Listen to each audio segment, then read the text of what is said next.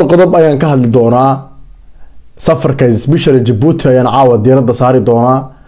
Kulankii maanta u qabsoomay madaxweynaha dowladda s c khaatumo iyo ra'iisul wasaaraha dalkan jabuuti cabdiqaadir kamil maxamed kulamadii ay ku yeesheen xafiiska waan idinka warbixin doonaa. Waxaan kaloo aan ka hadli doonaa kulankii beelweynta d five daarood ismaaciil indabili ay kula yeesheen ama xafladii ay u qabteen madaxweynaha kahor intaanu ka duulin garoonka jabuuti oo una xamar caasimadii soomaaliyeed dib ugu laaban. Waxaan kaloo aan dul istaagi doonaa arinta dadku ay ka dhawaajinayaan. Aadba moodo dadka doonaya inay suurad xumeeyaan.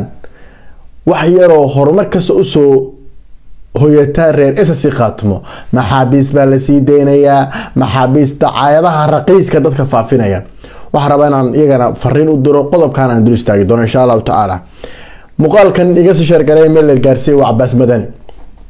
Horta marka koowaad aniga horta cabaas madani khaatumo cid igaga lex jeclo badan ma jirto. Xoogaalla waanahay meel khaatumo lagu gowracayo ama dadkayga qadiyadooda lagu maran habaabinayana weligay ma taageerin. Waxaa la bartay aan miidia u soo galay waan ugu jiraa waa danta dadkayga ss khaatumo marka qof aan xoogaal ahayn soomaalida waxay tiraa xoog mooga xaajo waa dilaa. Oo aan xog hayn ama waxaa dhici karta qaar baan xog haya laakiin doonaya inay suurad xumeeyaan wax kastoo khaatumo oo guula u soo hoytay.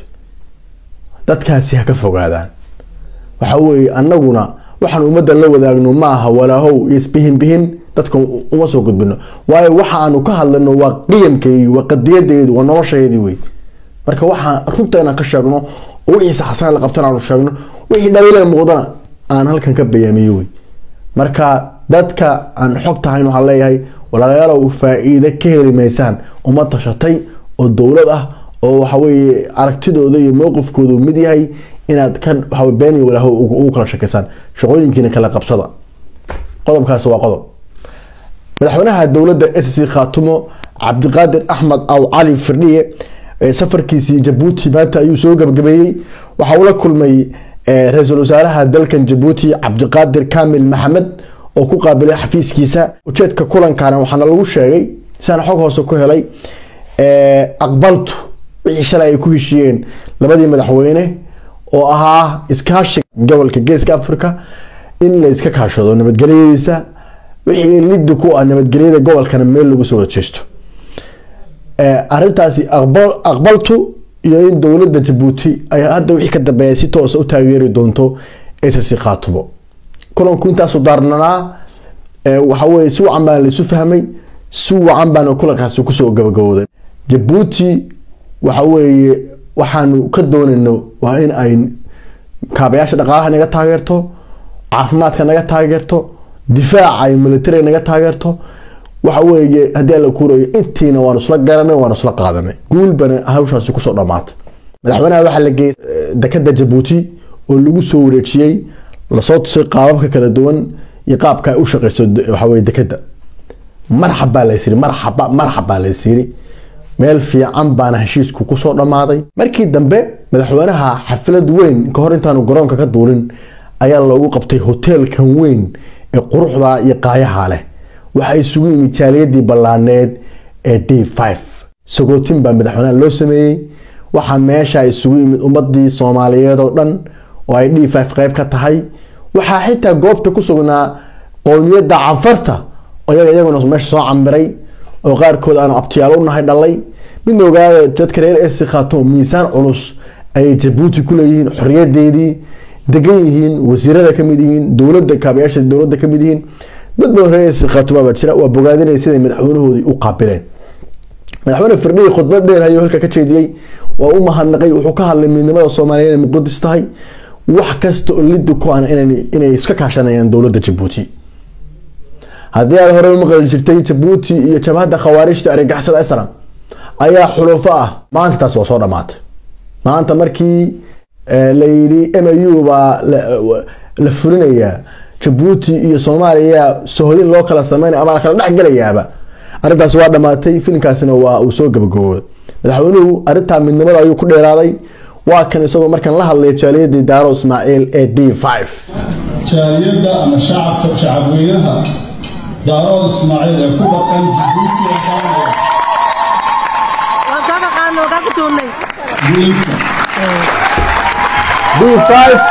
easy is meel kasta waa jooga meeshay d five kaa xigto waxa weeye haddii alla kuuran yahay ama lagaa soo riixo waa habeenka xalay tegay jaaliyadii d five ee jabuuti waa ismuujiyeen madaxweynahoodina waa soo dhaweeyeen waa qaabileen waxa weeye sooriyada ka dhacaysa.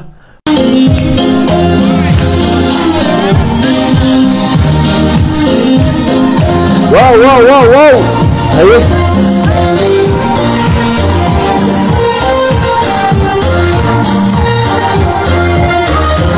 waa aada baad mahadsantihiin qodobada intaasaan kaga bixiya madaxweynuhu dib ayuu ugu laabtay muqdisho. Safarkiisina waa soo gabagabeeyey muddo dhowr maalmood keliya ayuu muqdisho ku sugnaan doonaa. Waxaana uu ku laaban doonaa magaalada laascaanood ee xarunta ama caasimada dowlad goboleedka ss khaatumo. Waxaan rabaa qodob inaad taabto.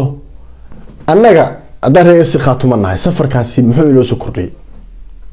Horta safarkaasi guul ayuu inoogu soo dhammaaday waxa uu inoo soo kordhiyey waxa weye cilaaqaad baynu yeelanay jabuuti jabuuti waxaynu ka wada shaqeynaynaa amniga gobolka.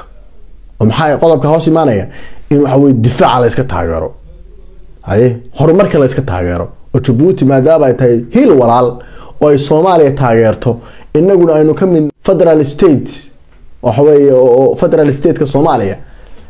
Waxaynu ka mid nahay dadkaas aynu ka mid nahay marka inay jabuuti inagala shaqeyso oo ay madaxtooyada laynagu qaabilo oo casumaad gooniya laynoo diro oo urgoboleedka igad aan la kulanno oo adduunkii meel walba saa laynooga daawado oo laynoo falanqeeyo caalamku inuu inala macaamilo. Maamulkeenuna inuu hore socdo noqdo. Siyaasadana aynu hadaa la kuuraya haddii waxaweye waagi hore laynagu canjarfeyn jiray maanta miiskii inagu aynu fadhino. Marka jabuuti arrimo badan baan iska kaashan doona insha allah. Guul banu safarkaas ku soo dhamaaday waxaa rabaa inaan xuso. Nin la yidhaahdo xogeeye ku-xigeenka maxamed cabdi awaare la yidhaahdo ee urgoboleedka igad ayaa bejkiisa wuxuu ku soo qoray. Waxaanu ka wadahaa arrinta maxaabiista. Dadku waa labo. Qaar waa dadka reer ss khaatumo oo lexjecla ay ka tahay. Maxaabiista baa la sii deynayaa wa waa dareemi karaa dadka waxaa rabaa iyaga caawa in barnaamijkan daawadaan.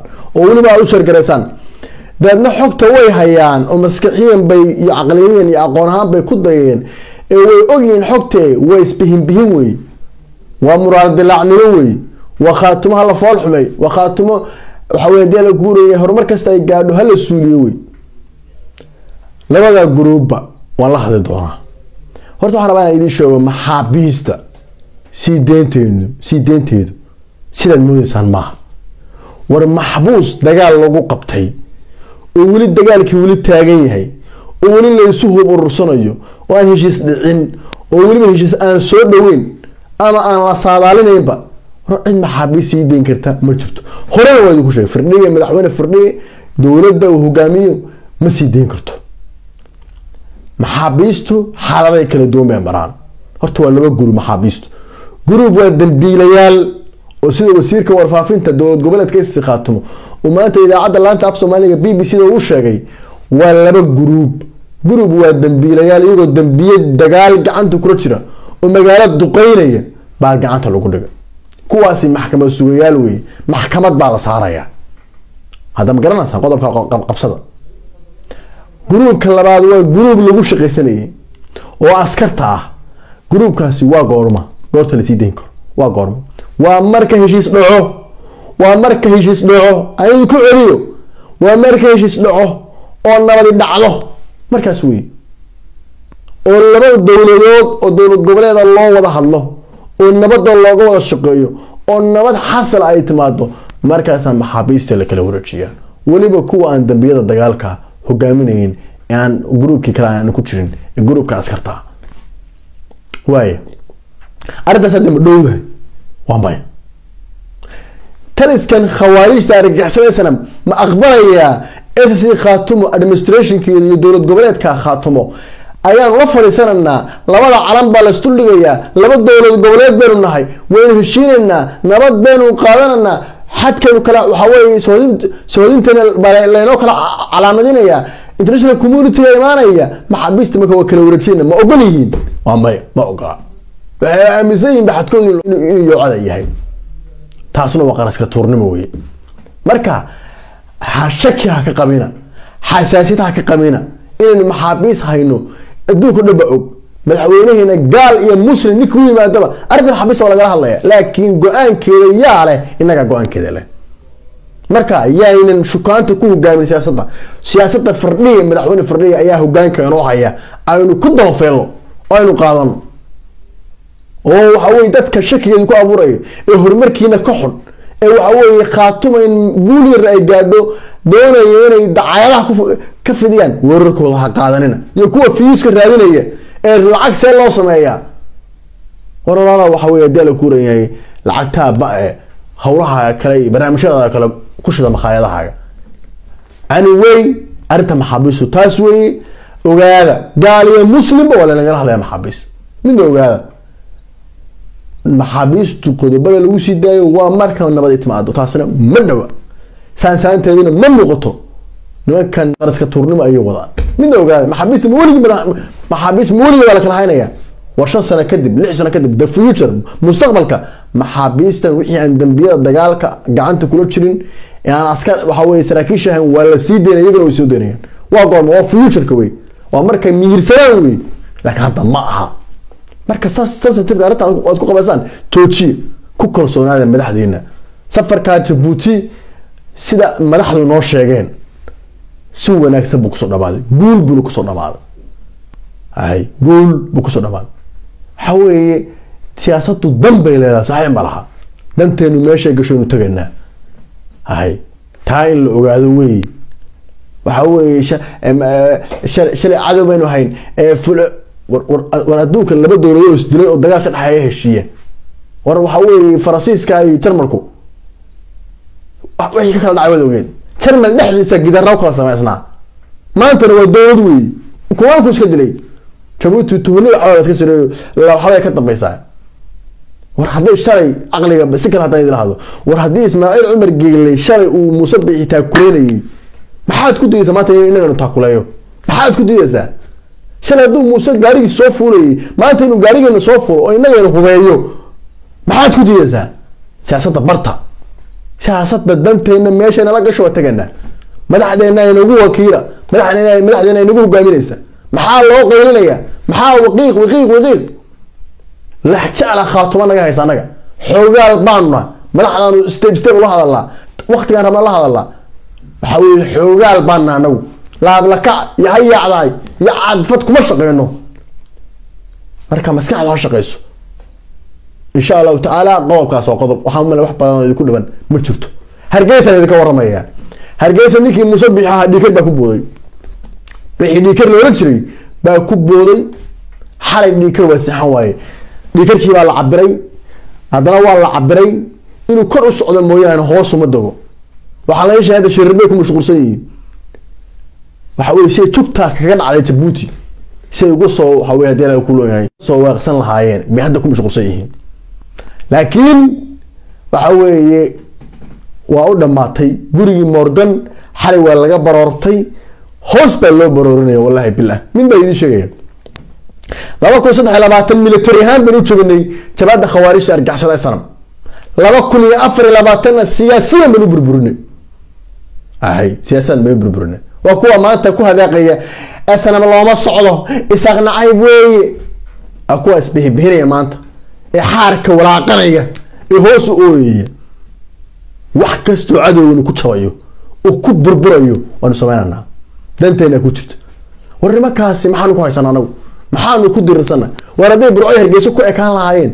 Oo dal iyo deegaan dad kale leeyihiin ay waxaweye ammaan siin lahaayeen? Horta soomaaliyeed wey lamana dagaalameen halkaana lamana gaadheen.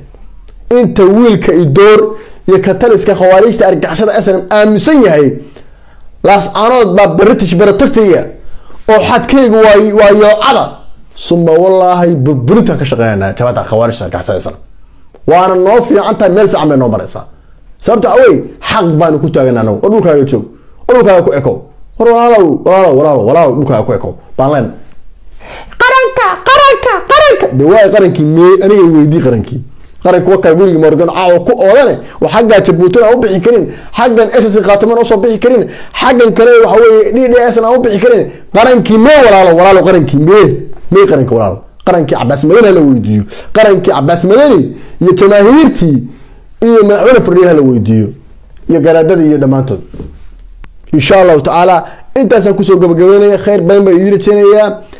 heshiiska mugana waxaan ku darayaa etoobiya ma rabto mugana fuliso. Ciraad bay u haysataa. Waxay doonaysaa in xasan sheekh maxamuud iyo federaalka ay kaga helaan bad. Ha ma rabto inay fuliso. Sababta waxa weeye maanta etoobiya caya ku taagay ma jirto. Nimankana curaha baa loo haystaa. Inna lillahi wa inna ilayhi raajicuun. Inna lillahi wa inna ilayhi raajicuun. Khayr badan baa idin rajeynaya